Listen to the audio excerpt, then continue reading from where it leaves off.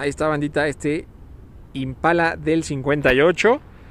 Pero con la novedad de que es el Treasure Hunt. Podemos ver que todo, todo, todo está adornado de calaveritas. Ese trae la letra A porque es de los HW Art Cars.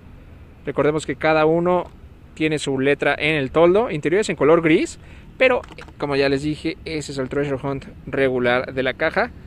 La base es plástica totalmente cromada. Y todo el body es de metal en negro mate. Con los detalles en color blanco. Está muy bonito, está fregoncísimo. Les deseo lo mejor, la buena vibra para que se lo puedan encontrar en su tienda de confianza. Y solo, sale uno por caja. Así que muchísima suerte, banda.